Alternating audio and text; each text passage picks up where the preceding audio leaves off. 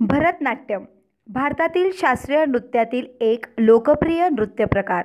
दक्षिण भारतातील राज्यांमध्ये भरतनाट्यम हा लोकप्रिय नृत्याचा प्रकार ठरला आहे याचंच प्रशिक्षण घेऊन नाशिकची तन्वी गोंदकर नृत्य क्षेत्रात प्रवेश करून आपल्याला आवड असलेल्या भरतनाट्यम नृत्याचे प्रशिक्षण घेते.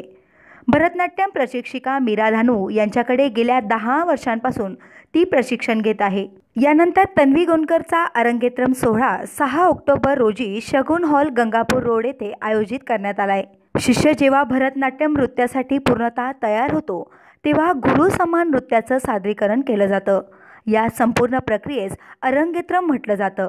ही भरतनाट्यम नृत्याची पूर्वापार चालत असलेली परंपरा आहे.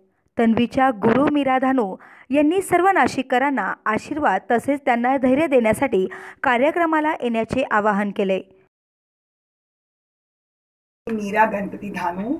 मी नाशिकमध्ये भरतनाट्यम खूप वर्षपासून शिकवते. मी हे स्टाईलमध्ये आता जवळजवळ साडेतीन वर्षाची काय होती तेव्हापासून चालू I started my dancing it's more than fifty five years I in this field माझी स्टुडंट तन्वी गोंदकर जे अरंगेट्रम आहे शगुन हॉलमध्ये सहा तारीखला. आणि तिने खूप दहा वर्ष माझ्याबरोबर ट्रेनिंग घेतलेली आहे.